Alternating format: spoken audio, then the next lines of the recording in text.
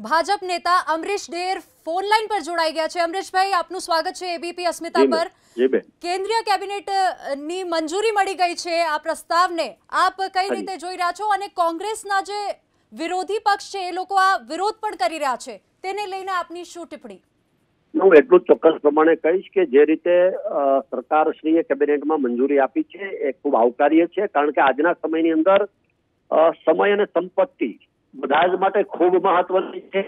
ત્યારે જુદા જુદા સમયે જુદી જુદી ચૂંટણીઓ યોજાય, જેના હિસાબે સમય પણ ખૂબ વેડફાતો હતો. લોકોની સંપત્તિ, સરકારની સંપત્તિ પણ ખૂબ અસરકારક રીતે ખર્ચ થતી હતી. તો એક જ વન નેશન, વન ઇલેક્શનની વાત જ્યારે આવે અને એ જો થતું હોય, તો એ ખૂબ જ આવકાર્ય છે. એટલે હું ચોક્કસ પ્રમાણે કેન્દ્ર સરકારે જે આગામી સમયમાં સ્ટેપ ભર્યું છે અને હું આવ- આવકારું છું. અને મને એવું લાગે છે કે દેશની જનતા પણ સતત લાઈનમાં ઊભા રહેવાને બદલે પાંચ વર્ષે કે સાત વર્ષે જ્યારે પણ જે સમય નક્કી થાય ત્યારે એક જ દિવસે એક જ વખત મતદાન કરી અને પાંચ વર્ષ સુધી આશકારો અનુભવ છે એવું મારું સ્પષ્ટ પ્રમાણે માનવું છે. જી અમરેશભાઈ પણ જે કોંગ્રેસ તરફથી વિરોધ જોવા મળી રહ્યો છે તેને લઈને આપ શું કહેશો?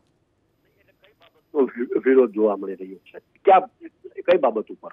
આ પ્રસ્તાવને લઈને કેટલાક એમાં એમાં એમાં હું જે હમણાં પહેલાના વક્તાને સાંભળતો હતો અથવા મેં ક્યાંક હમણાં સોશિયલ મીડિયામાં જોયું, એ મુજબ કદાચ એવું કહેતા હશે કે જેનો પાંચ વર્ષનો સમયગાળો પૂરો થયો છે, એને બે વર્ષ પછી ચૂંટણી હશે તો ત્યાં સુધી શું કરશો? કદાચ આવા પ્રશ્નો છે પણ વન નેશન વન ઇલેક્શન બાબતે તો કોઈનો વિરોધ ન હોવો જોઈએ, કારણ કે દેશના કે રાજ્યના લોકોને સુખાકારી માટે સમયને સંપત્તિ સરકારની પણ બચે અને લોકોની પણ બચે, એ ખૂબ જરૂરી છે એવું મારું સ્પષ્ટ પ્રમાણે માનવું.